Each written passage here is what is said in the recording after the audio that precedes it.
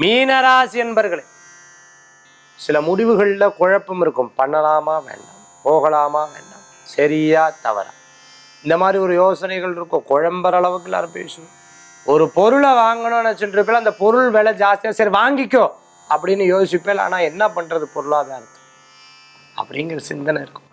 எல்லாத்தையும் ஜெயிச்சு வந்துரு இறைவன் துணை நிற்பார் உங்களுக்கு. திடீர்னு ஒரு நல்ல செய்திகள் காது கட்டும் நீங்க மாலை நாலுலேருந்து அஞ்சுக்குள்ள இரவு பிரயாணம் பிரயோஜனம். இந்த தினத்துக்குண்டான அதிர்ஷ்டமான எண் ஏழு. என பல வர்ண நிறம் வழிபாட்டுக்குண்டான தெய்வம் சிவ வழிபாடு. தன்வந்திரி பகவான் வழிபாடு.